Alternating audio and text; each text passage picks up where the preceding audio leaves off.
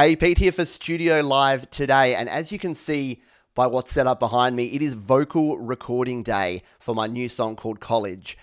And if you've been following the previous videos, you'll have known that we've done the drums and the guitars, and then today we're going to be recording the lead and backing vocals for this song. So in the video, I'm going to be going through how I set up to record vocals and a few tips and tricks and strategies to get the best vocal recording here in GarageBand on the iPad. And I'll then go and record all of the tracks. So you won't get to watch me record painstakingly every track and every take because that would be boring and it would ruin the surprise of the the final mix. Speaking of which, make sure you subscribe to the channel because as soon as the new song is out, you'll be the first to be able to hear the complete finished product once it is all done. So it is now time for me to jump up over there, set up over here, and start recording me some vocals. Let's go.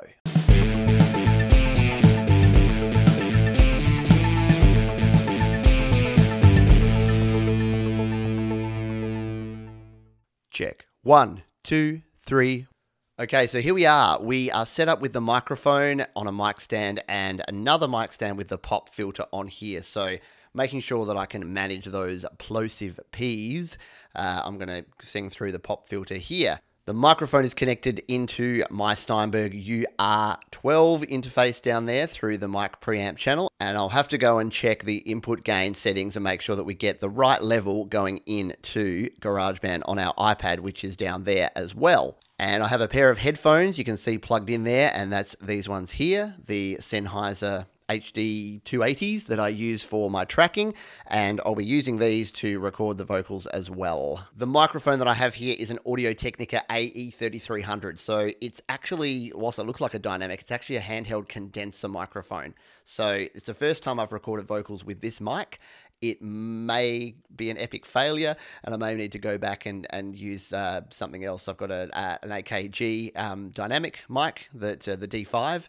which is another possibility, and I've also got my large diaphragm condensers. So let's go down here to the iPad and get things set up, ready for this particular take.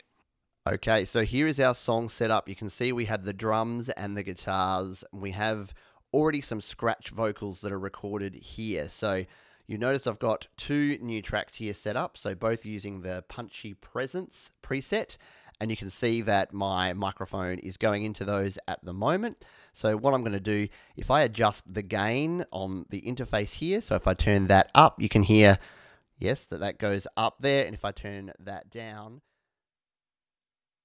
then you wouldn't have been able to hear me because uh, the audio recording is coming through this interface as well. So when I start doing my first uh, vocal takes, I'll need to make sure that this input gain is set correctly so that we're not clipping over here on our microphone. So let's tap on our microphone to go to our view here. And there we are, there's our punchy presence. And if I give it a little bit of a test sing here, La la la. Yeah, you can see that we are way over on that. So I'm going to dial back the input gain. La la la la la. And that's looking a little bit better. So, ha. Just need to make sure that when I hit a loud note that it's not going to go over and clip. And you are definitely better off in a digital environment keeping the input gain lower. Sticking on the low side, you can add gain in a lot easier than you can fix a clipping or a distortion, which is virtually impossible.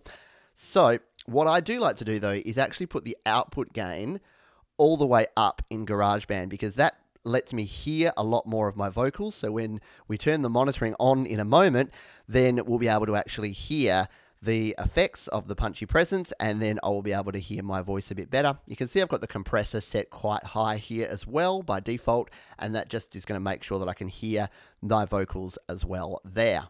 So I mentioned monitoring. There's two ways to monitor when you're using an interface like this. There's actually a direct monitor button on the interface, which is what I have on at the moment. And that's why you can hear the voice coming through because I'm now I'm recording this over on my PC's USB interface as well. And if I was to turn that off now without this monitoring on, then my voice would completely disappear. So if that you would see that it would still be coming in here, but it's not actually going out of this interface. The other way to monitor is we'll do this now. So I'm going to turn off the direct monitor and turn monitoring on here in GarageBand.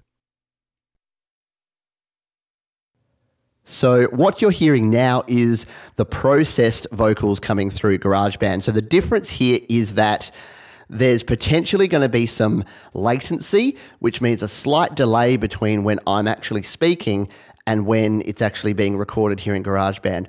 So, why that's a problem is that it means that your timing may be off on your vocal recording. So, what I'm going to do, I'm going to do my first uh, pass of this vocal using the GarageBand monitoring because that will give me the effects on my voice and will make it a little bit easier to sing. If that's not going to work, then I'm going to switch back and use what I usually use, which is the direct monitoring, which means I don't have any effects on my voice, but it does mean that I can hear it exactly as I'm singing it with zero latency. With zero latency. So we have ourselves set up down here now. I'm going to get into the recording position, get the headphones on, and let's record a take of these lead vocals.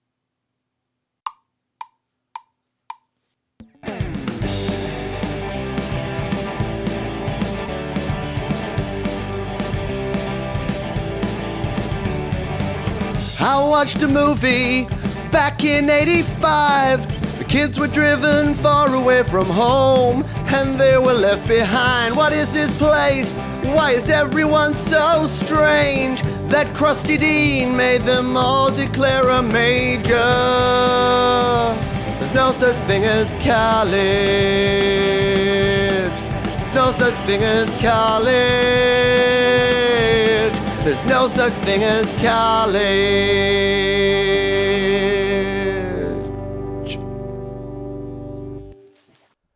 Okay, so here is our first pass of the vocals. Wasn't an amazing take by any respect, but we have a full take. I forgot some words, I did some things wrong, hit some wrong notes, but that's our first take. Now, one of the things that I did notice in this is that I was running out of breath.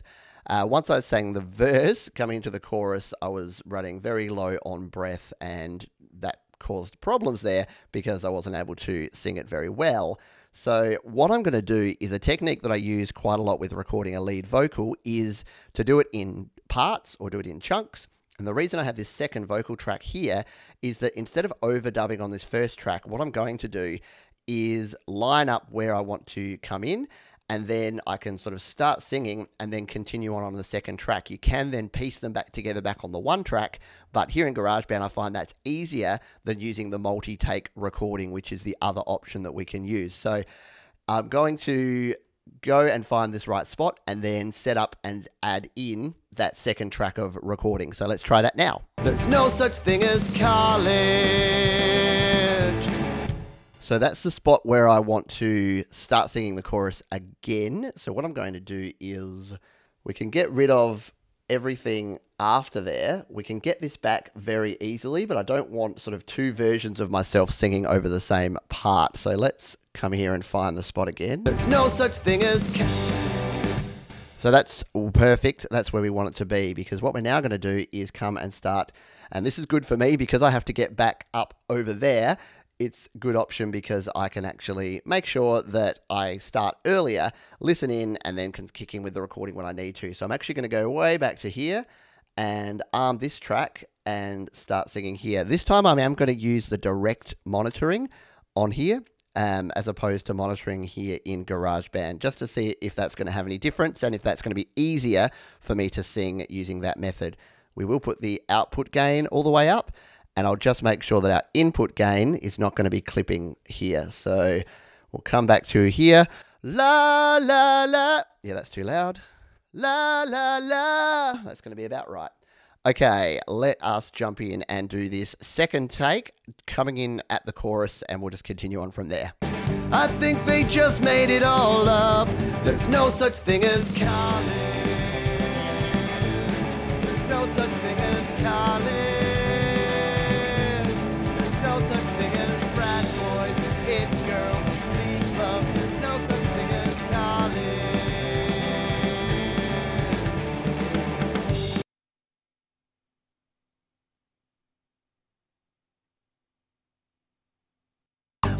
Movement jackets and a homecoming parade just make no sense. There's no such thing as college.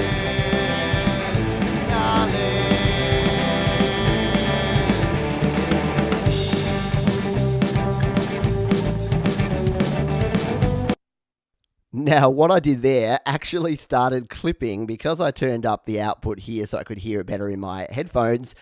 Where it was recording over here started clipping there. So that clipping wasn't actually happening here in GarageBand, it was happening over on my other interface, which is why you're hearing that as quite distorted.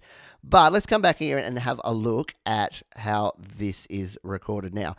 So you can see there, and yes, I've definitely got the level too high, so I'm going to have to come back in and play it with the input settings when I do another take of this. But the beauty part here is that what I can do now is record here and then I can jump back in back on this track and then jump back on this track. So I'm going to record this in four sections and it means that I can go through and record takes as we go along and then bring them back together or even just leave them on two tracks. So if there's a portion where in the verse it sort of crosses over into the chorus and then and it's going to cut off and sound weird, then I could actually leave that there and it blends it across. It means that it's not realistic in terms of what you could actually sing, but it if it sounds better and it fits the song, then that's the way I'm going to go. The other tracks that I'm going to record are these backing tracks as well. So that's just some harmonies that happen mostly during the chorus that I'm going to record and use the same sort of method to record those. So I'm going to go away now. I'm going to do all of these recordings of these tracks and then I'm actually going to come back here and show you the finished product of the vocal recordings so that you can see how we've ended up there.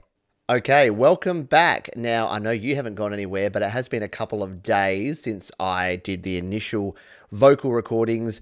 I did another few takes of some of the lead vocals and the backing vocals, and I'm in a position now where I'm pretty happy with most of it. I think I'm going to re record at least some of the parts of the main vocal and maybe a couple of the backings, but we're not far away from having it. So, um, I have also switched devices, as you'll notice here. I'm now on the iPhone 6S. And the reason for that is that I've taken this with me to do uh, some mixing and some editing while I've been out and about. So, again, the flexibility of GarageBand is that you can take your recordings and mixes with you to do this sort of editing. So, I thought I'd just take you through where we're at now with this particular track and We'll finish up the vocal recording, and next time we come on about this track, we will have everything done and we'll be able to play the full song, which is exciting. Okay, so as we know, here are is here are, as we know, here is our drums and our three guitars and our bass, and we've now got all of our vocals. So the first two tracks there are some little gang vocals that uh, my wife actually recorded. So there's two phrases there where she features in the song. We then have my lead vocal, and you would have seen that previously I had these two lead tracks that I was recording to. I've done all the cutting and chopping and pasting, and I've got that all back to my one lead track now. I've got that second track just there, just so that if and when I want to do a re record of that track, it's already there in place. Down here, I've got some background vocals. So I've got background vocal low, background vocal high. So they kick in sort of towards the start of the second verse and then go throughout the rest of the song. So there have been a few chops and edits, as you can see there, that we've done as we've gone along. And there's still some work to do to make sure any silences are chopped out of that before our final mix down. And finally, what are these two tracks at the bottom here that looks like I'm recording on? Well, these are my vocal doubles. So what I've actually done in this track, at this stage anyway, and this may change in our final mix, but what I've actually got is two tracks here at the bottom, one pan to the left and one to the right, and these are really low volume of my lead vocal track. So this just adds a little bit more depth and uh, and flavor to that lead vocal um, and just makes it a little bit fuller and richer kind of sound. So you're probably sick of hearing me talk and want to actually hear this track now. So what I'm going to do is I'm going to play a couple of samples here just so that you can get a feel for how the song is coming together, how the mix is kind of working. So let's go to the start of the track and I'll play part of the first verse.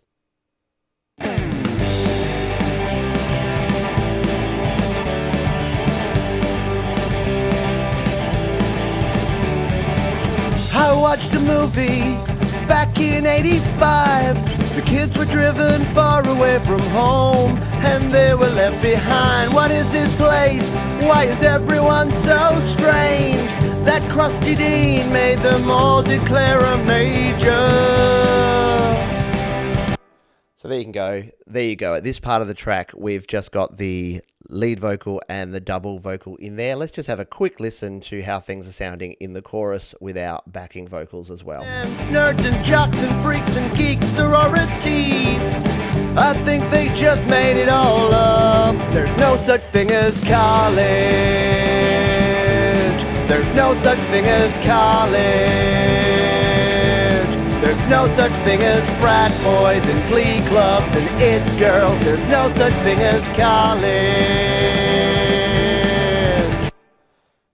There you go. So you can hear that uh, I've got a little bit of work to do with some of these vocals. So the, the lead vocal's a little bit pitchy there in that particular chorus. That needs to be fixed up. So probably a re-record of at least a part of it there. And I think uh, some of the backing vocals just need some tweaking, whether that tweaking is in the compression and the EQ settings or whether I need to re record some of those parts.